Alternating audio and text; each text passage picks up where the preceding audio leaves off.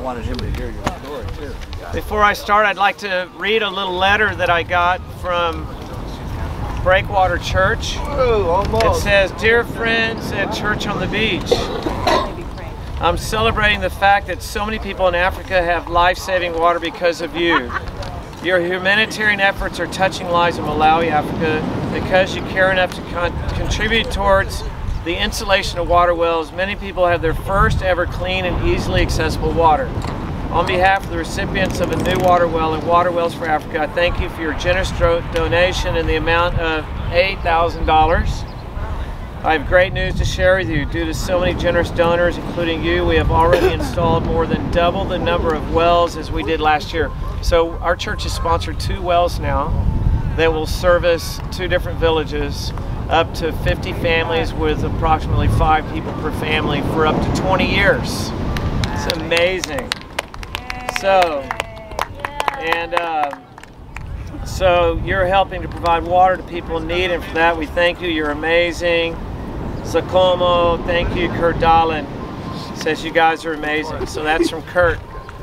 And uh, it's an I've been there four times. It will change your life to be at a water well where we went the last time the well that we sponsored from our church, the lady looked at me and said, since the beginning of the creation of time, we had no hope. As far as they knew in their history, they'd never, ever, ever had clean water as a nomadic tribe coming out of Mozambique into Malawi. And we were the first ones to give them water that they could drink and not get sick. It was incredible. And then we showed them the Jesus film. And then they got the living water. So it's like, win, win, win, and again win. Woo! So, I'm really excited about what's happening in Kentucky. How many know about the Asbury Revival in Kentucky? It's incredible. Um, you know, I first got wind of it from people in our church. They were sending me texts. I started looking at it online. I, I don't look at TikTok, but I, they sent me a TikTok. And uh, I looked at even NBC News was covering it. You know, wow, what's going on? You know, and so apparently started with they have three services a week at Asbury College um, outside of Lexington in Wilmore. Wilmore. And so in the middle of this typical service, a guy got up and started repenting. Just that, as simple as that. And uh, this is in an area that has a history of revivals over the years. I'll talk about that more later. But then this thing just grew, and before long, everybody's coming into this church, and they've canceled all their classes. And so for 11 straight days, I was watching it online last night. Last night, after 11 days, I was first time I was starting to see empty seats. So like two, like 255 straight hours of worship, 24 hours around the clock of people coming. And so I was talking to our, our friend Bob Sivers, who lives right up the street here, who's a, been a surfer here for years and years. And um, we're, I got a free spot up here. How many like free spots? this week, and Bob pulled in next to me, and we just started talking, and I told him about this revival. He said, are you kidding me? I said, yeah, go check it out. So I go surfing for like an hour and a half. I come back in, and he walks down just as I come in. Coincidence? No. And God was just setting this whole thing up. I, he said, I looked into it, it's legit, I got my plane ticket, I'm going tomorrow. Oh. So, I invited Bob to come this morning and talk to us about what happened in Asbury. So come on up, Bob. Surfer! Surfer! Surfer! Hey, thanks, Ross. and, um, you know, this thing was was divine from the start. It wasn't a decision I made. Speak um, up a little. Your voice. It, it wasn't. It, yeah. That's that's a rarity, just so you know. Um, I can talk loud and I can talk forever, and, and I'm going to try and just do the former. But um, uh, so I, I, we don't have time for my testimony, but uh, Otts and I uh, were involved in church OCF for years and years, and um, I went astray, and about without without getting into this incredibly powerful testimony that I would be happy to share with anybody at another time. Uh, about a month and a half ago, God revealed himself in the most undeniable ways. Like, Thank you, Jesus. Five minute version of your testimony. Okay, I'm going to give you a very short version. Um, after after I moved out of the church and sort of back into the world, um, and I honestly was never really, I never understood the, the concept of letting the Spirit do it. I always thought back when, I mean, I'm just going to try harder, I'm to try harder, I'm going to try, and it's not, it doesn't work that way. It's if we could do it on ourselves, we don't need any Jesus. We just need us, but we, but we don't. And so, fast forward through year 2000 to just a minute ago, I I, I went all these different ways, and I and I fell for the tickling, tickling prophecies and and and things of of the world that's going around these days that you can reach God in all these ways, and God's everywhere, and God's in everything, and God's God's God. We're all part of God, and all this stuff, and even the the, the pharmakeia, the, which is which is which is the word for sorcery in the Bible. Um, the mushroom thing. I did the journeys and I saw it all and I'm like, God is everything. It's amazing. Well, it turns out that that was a trick.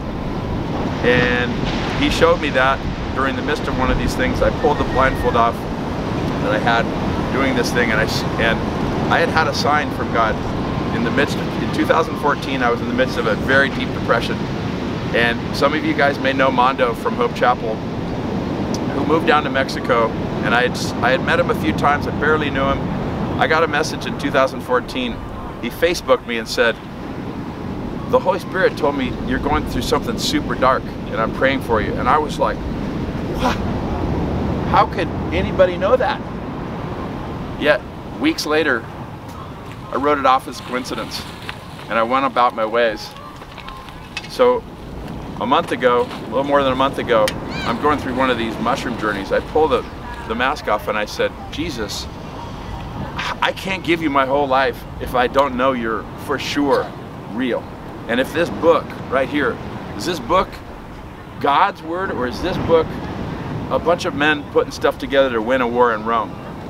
You got to tell me. I know I know I'm not supposed to ask for signs, but I need to know.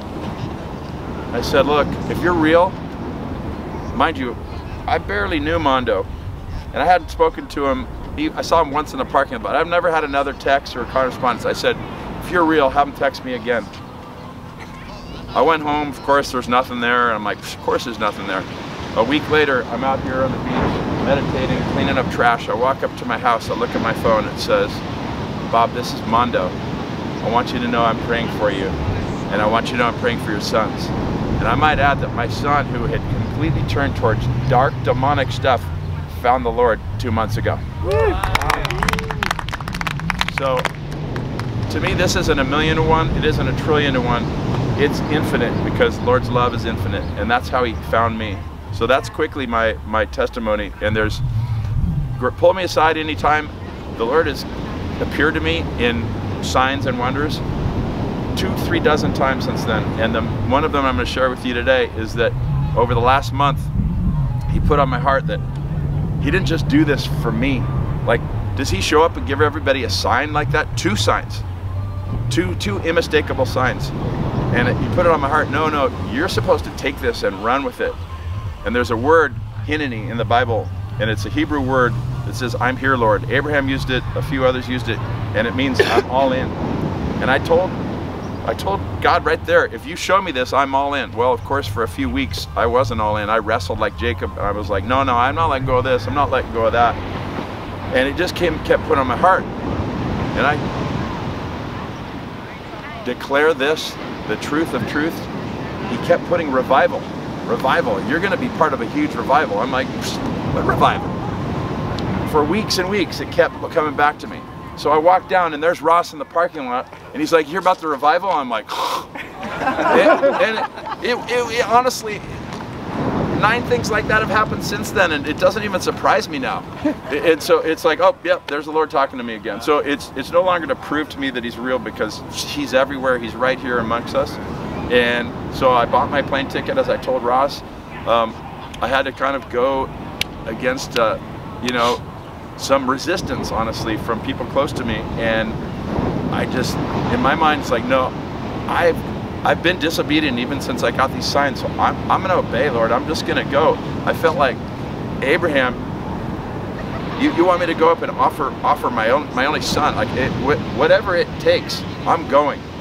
And so I went And my wife said, I hope you find what you're looking for. And I said back to her, I said, I'm not looking for anything. I'm just heeding a call. And so I went. And I, I'll tell you, when I got there, it was freezing. It was 30 degrees. We were out on the lawn. I walked up, and first of all, some people like, she's like, well, I hope it's still going on. And praise the Lord, you just said seats were starting to empty the day after I left. And I didn't know how long to stay or what to do. But I got there and people were on were literally on fire. There was a line from here well past the exit to the parking lot. As thick as this crowd, I'm going to say there was five to 10,000 people over over that night. And what I came to do is maybe get an experience. And in the past, you know, like I've been to the Vineyard Church and some of those churches where it's just all about experience and all about elation. That's great, but that stuff wears off because you leave and you're like, where, where to go? And so I went there looking for, maybe it kind of was looking for that experience. And when I got there, I see this line, there's people everywhere, it's freezing cold. I'm like, I'm not waiting in that line. I came all this way, I'm not even gonna get into the chapel. And so I, I sat outside next to a heater and people were huddled around. And in the interest of time, I won't tell you, but there's different, uh, there was prayers that were, were made and fellowship that happened outside that was maybe even more meaningful than inside. And this is a this was a, a revival of the young. This was a revival. They literally, when I got there, I was a little disappointed. I'm like, oh, I'm not even going to be able to get in close because they reserved this for 25 and under. But the but the the meat of this was is that this is a new generation that God is raising up, and He brought from there's people from Indonesia, from Brazil, from I, I, the guy next to me. Where are you from? Florida. People from coming from everywhere to see what this is about. But really, this was a, about a revival for young adults, for a new generation of believers. And as everybody can see by turning on the news or talking to people or listening to the narrative, there, has there, been a wicked generation, and it's not the people, but it's but but God's allowed Satan and the enemy to to try and try and do what he could. But you know what? There's a there's an ending to the story, and it, it, it's not pretty for the enemy. And God was working a wonder to bring these people together. And what I witnessed, it was miraculous how I even got in. I stood there for three hours. It's 30 degrees. I'm not dressed for it. I didn't even look at the weather before I went. I'm dressed. I got less than I had now. I'm freezing. And the people that I was fellowshipping with next to me who live blocks down the road offered to house me and, and let me stay there. There was that there was that community of communion there. And after like three hours, like, they just said to some of the people as the, the line never got shorter. In five or six hours, it was it was like a quarter mile long. And and he said he said, hey, he's from California. He's he's like, go, just go. People are like, yeah, go. I'm like, okay. And then the guy up the top goes, hey, if there's any singles, come on up. So I scoot up and run and I'm sitting and I sit down in the pew. The guy next to me's got hand warmers. He's, I'm shivering like this. And, and I'm seeing these young adults with their arms raised, praising God, completely renewed. You can feel it. Did I feel that elation that I felt at times in my own worship? No, I didn't. And you know what? I think it was a lesson for me. I actually walked out after being there for five or six hours and I was a little like, wow, that didn't hit me like I thought it was going to hit me. And then I, so at times when I wasn't, I didn't know their worship songs, so I'd sit down and pray. And, it, and, and then it, and then the Lord revealed to me, it's like, this wasn't about me. This was about, this was about a generation that's being welled up by the word and by the blessing of the Holy Spirit. And the Holy Spirit was there. And I will tell you, I left, I went home, I spoke to a guy who's close to me that's mentored me. We were on the phone till 4.30 in the morning. I woke up the next morning which was yesterday, so filled with the Holy Spirit that I, I, don't think there's been an hour of the day that I have not been praying and praying for people and that the Spirit's been moving through me. And I've learned, I've always wanted to run out and do things. I mean, I'm an achiever. That's what I like to do. So I'm going to go do it. And God had to just slow me down. I had two signs, and again, I don't, in the interest of time, but I, I had texts that were like, they're like, it's too much from two different people so close to me. I'm like, okay, I'm like, quiet myself. Let it happen. And more and more and more, I'm trusting to let the Holy Spirit do things through me. And not, that's not about me. there's not one thing that I've done in the last month or ever in my life that is about me. It's about letting the Spirit run through me. And I just want to ask everybody here, maybe we can just have a quick little prayer for this generation that that's been that's been brought up. And I believe this thing. I, I'm not. I, I, I, at some point this thing had to start to, to trickle out. But the message there was. And by the way, I just want to add, this was not a charismatic like woo-woo movement. This is a Methodist church with, with very, very sober sort of sort of vanilla kind of messages. And, and, and, and I think it was good to send these people off. So this this could be a road trip and you're all elated and you go home and then nothing happens, you know? Or we stay sober and just pray and be in the Word and be in the Lord and go home and, and bring it back to where you came from. And this is all over the earth. So so this is my prayer. But, but if we could just just just say a prayer right now together. Father God, I'm so grateful that you've intervened in my life, that I could lift you up, not by anything I do, but what you do through the Spirit. Lord, I pray that this revival didn't just happen in Asbury College in, in Wilmore, Kentucky, but this revival is something that's going to spread across the country and, and, and reunite this country because you chose this country to be a country that proclaim your name. And like Israel, this country has moved and, and, and rebelled and wandered around in the desert. And it's time, Lord, it's time, Lord, to, to bring a new generation of believers up, to lift us up again and bring this nation to a, a believing nation and one that honors you and one that praises you and lifts you up and holds you above all names for there's one Lord, there's one, one God. God is not in everything and everywhere. God is around us, but there is one God and one Lord and one Son of God, and that His name is Jesus. And we proclaim your name by the power of the Holy Spirit, and we bring it out to the corners of the earth. And I bless, and I ask you to bless this church and Ross's ministry. And it's so wonderful to hear the things you guys are doing. And I ask you to bless it and bring that spirit and bring, it bright in everyone here. That you can walk away today with the spirit bright, bright inside you, and that it work through you, not because of you, but through through us. And we pray this in Jesus' precious name. Amen. Thanks for letting me share. Thanks, Bob. So good, so good to have you. Welcome back. Welcome back. Thank you. Awesome. Thank you. Wow.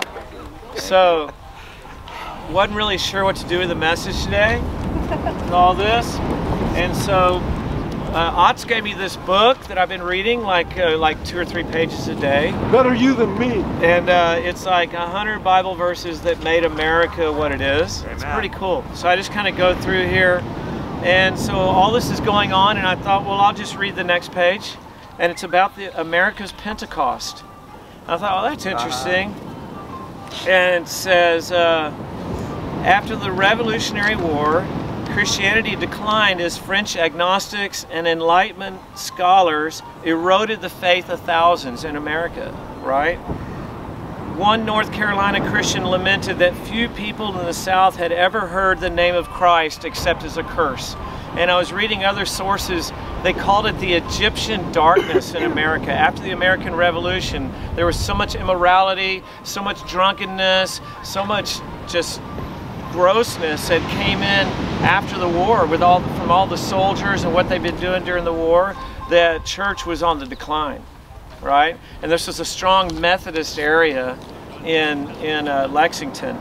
So it says here one guy wrote at the close of the long and arduous struggle for independence large districts of the country were destitute of the gospel and the people in great measure seemed to have been given over to intemperance and irreligion.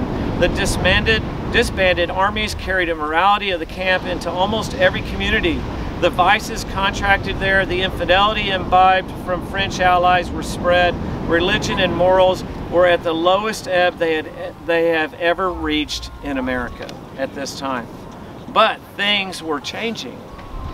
In the east revival struck where colleges this is in the late 1700s revival struck colleges like Hampden-Sydney, and on the frontier there were unmistakable stirrings of the Holy Spirit.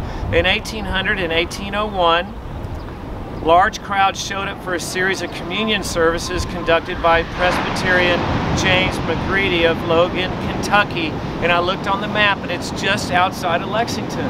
in the same area. Oh, that's so interesting. So I just turned to the next page to read. You get this? This is really cool, right?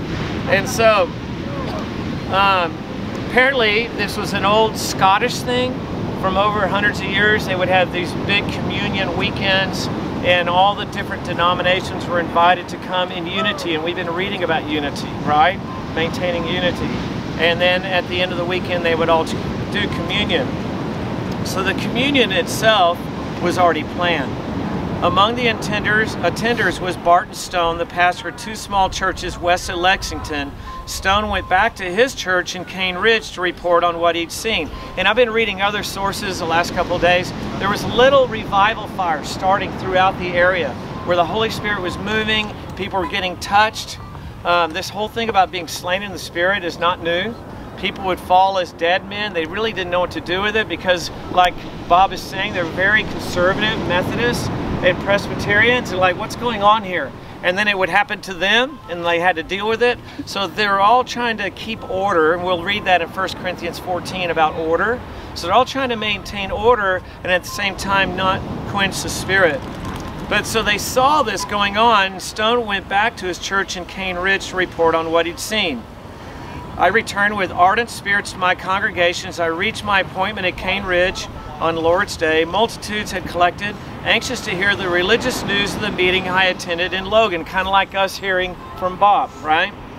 I ascended the pulpit and gave a, a relation of what I'd seen and heard, then opened my Bible and preached from these words Go ye into all the world and preach the gospel to every creature. That's all he preached, right? And last night, I was watching this online. People were getting up and preaching the word as God was leading them also in Asbury. So he did that. Well, that verse struck a chord with the church in Cane Ridge. This is right near Lexington as well. There's actually the temp, the meeting house where this happened is still there. It's a historical site, right? So that, uh, that verse struck a chord with the church in Cane Ridge, and the members decided to host a similar communion service for their area. Hey, why don't we do communion here? Because look what happened over there. I mean, you know, let's just do what they did. We'll start there. They wanted to reach the region, their new nation, and truly the whole world hearing that verse. Their building was large and could hold 500 people. They erected a tent for overflow, but nobody expected the multitudes who showed up just like Asbury certainly didn't expect all this to happen. Stone later described it. The roads were literally crowded with wagons, carriages, horsemen, and footmen moving to the solemn camp. The sight was affecting. It was judged by military men on the ground that there were between 20 and 30,000 collected to come meet in a place that held 500 four or five preachers were frequently speaking at the same time in different parts of the encampment without confusion. There's artist renderings of this online, and it shows all these different uh, like platforms set up in the area around this this building with preachers all preaching at the same time. And it says in these memoirs that they all preached just the fundamentals of Christianity. There was no division. They were not contradicting each other. They were preaching the pure gospel for the world, right? And it was done in unity. It's a beautiful scene. And it says here, um, without confusion. The Methodist and Baptist preachers aided in the work and all appeared cordially united in it. How cool is that, right? Of one mind and one soul. What are our points in our notes? Look at that. What does it say? What does it say? Be, be unified. Of one mind, right, and soul. Remember, that's the affection that's the judgment, having an, a, one affection for this common cause to bring Christ to the masses, to the nations, to bring freedom for bondage, right? So they were all united of one mind and one soul, and the salvation of sinners seemed to be the great object of all. When we have that, we are unified. If we're all focused on tongues and we're all focused on baptism, we're all focused on our eschatology about rapture, then we have division. No, no, no, no. Let's focus on, keep the main thing the main thing. And that's what they were doing back in 1801 on August 6th. We all engaged in singing and same and singing the same songs of praise. You know how different churches have different songs? Well, they all agreed on the same songs. all united in prayer. I mean, some pray in tongues, some don't pray in tongues, some pray quietly, some, you know, but they all figured it out. You know, like the Koreans all pray out loud at one time. Then some churches pray quietly without saying anything. Well, they all prayed in a unified effort.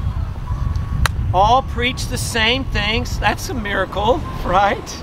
Because they're just getting up in spontaneous preaching all through these 30,000 people.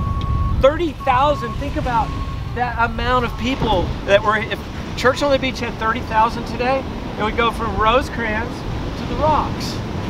It's a lot of preachers necessary. There was no amplification, just preacher voices, right? They all preach the same thing free salvation urged upon all by faith. Simple gospel. And repentance. That's key.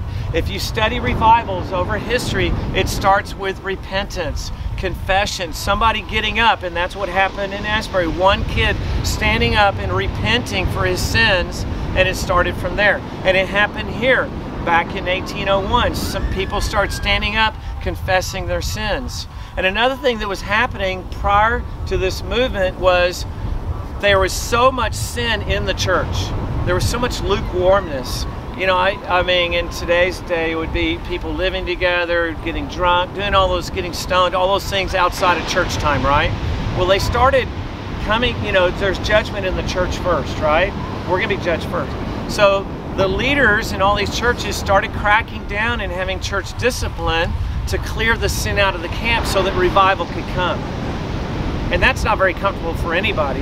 But all of us should know, if we walk with the Lord, that as soon as we get rid of those things in our lives, we're more free in the Lord and more ability, we have ability to serve, be filled with the Spirit, and that can usher in the Holy Spirit itself. So they started repenting for all these things. You see that? Whatever it is, we all have our stuff.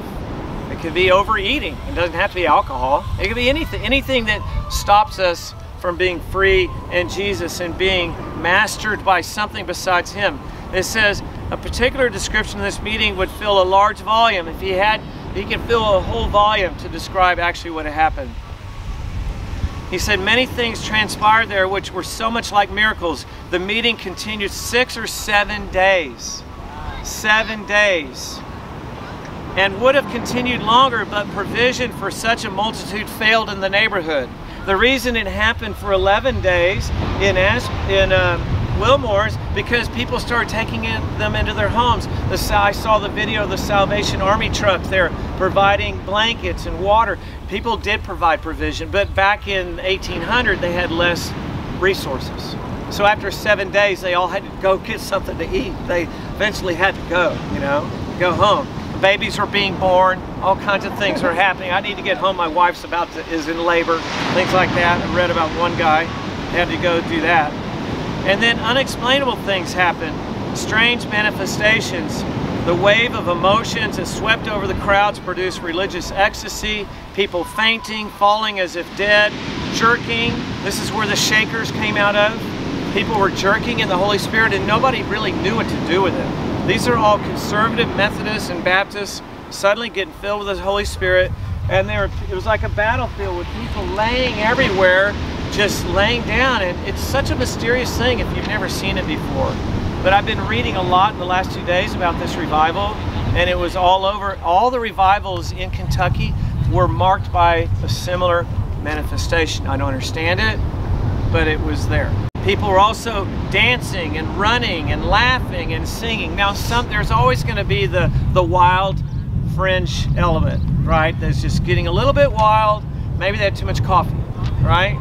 But then there's sincere people that are really there, and I've been in the midst of this, where the Holy Spirit is truly moving, and you just you're just there enjoying the Lord in your different ways.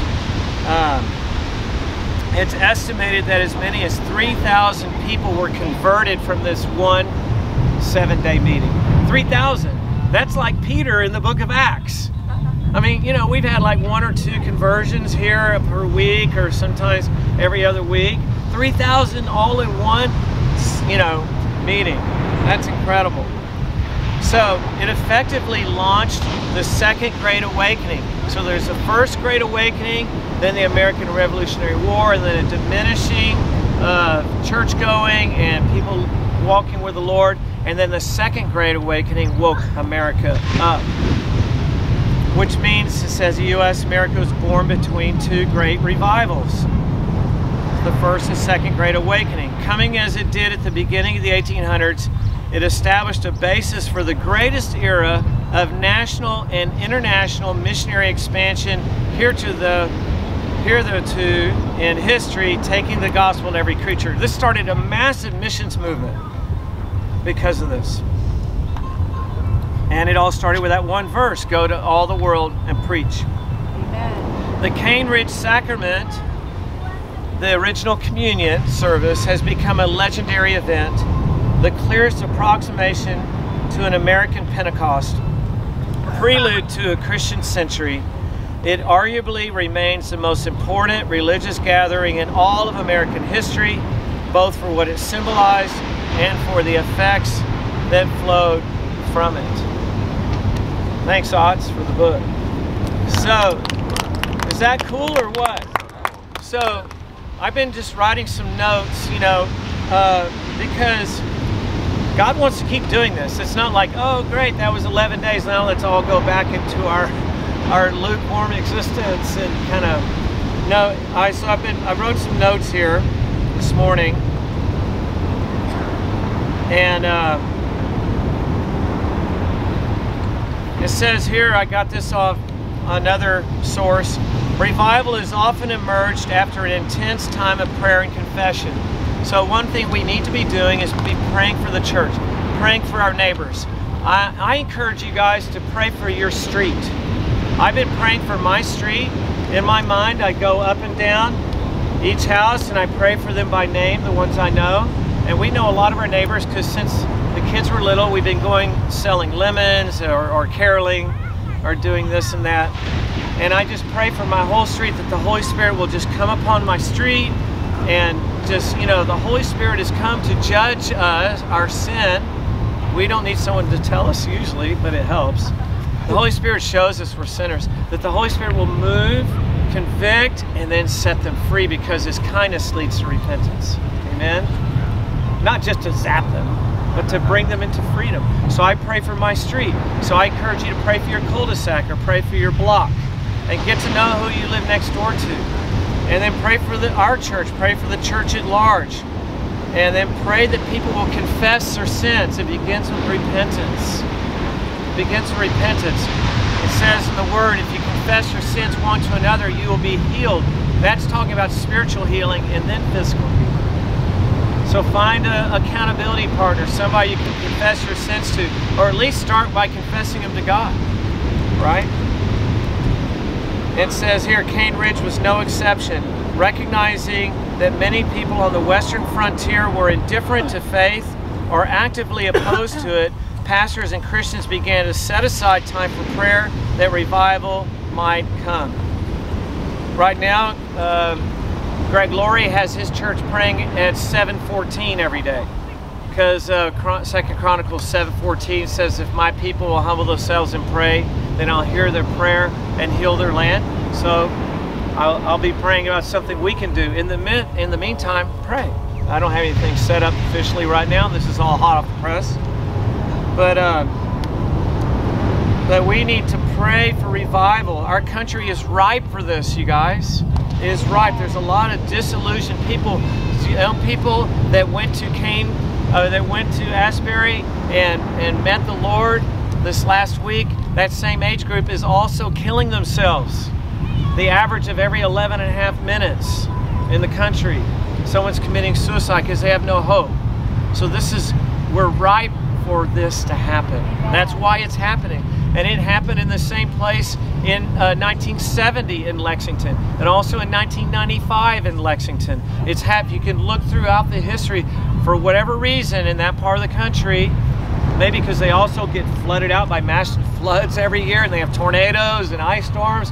Their life is not necessarily comfortable, but they are hungry. If you hunger, this is the verse that God put on my heart on the way down here this morning from Matthew 5. The, if you hunger and thirst you for righteousness you will be filled but you got to be hungry you know if you're full with other stuff If you ate a bunch of cookies before dinner, it's going to be hard to eat that delicious steak that you just got served. Oh man, that looks amazing. But I ate too many cookies. So in the same way, we could be filling our life with all this junk, and then when we get time for the real thing, there's no room for it. Amen? Amen. We need to hunger for this for Jesus. I saw a shirt on my friend on the East Coast when I visited uh, a couple years ago. It said "Binge Jesus." If you want to binge something, Amen. binge Jesus. Those guys are fun. They were all drunk in the Holy Spirit. This is a whole other subject. They couldn't stop laughing every everywhere we went. Restaurants, everything else. Um, they're realtors actually, and their whole office was drunk in the Holy Spirit. it was so interesting. Wealthy Christian realtors full of the Holy Spirit. Um, so, convinced that iniquity impedes revival, many churches tried to clean up their own ranks by removing from fellowship those who had drifted into overt sin. So, I'm not going to go around as a policeman here. That's not my job. However, I want each of you to judge yourselves soberly. And if you read the Word every day, if you're reading through the book of John, you'll use that as your litmus test. Remember in science class, the little blue and pink papers, be checked for acids and bases. Use the Bible as your litmus test to see how you're doing. And if there's some sin in your life, repent. Get rid of it because you don't want to be mastered by anything but by Jesus Himself. Amen? And there's little things and big things, right? So,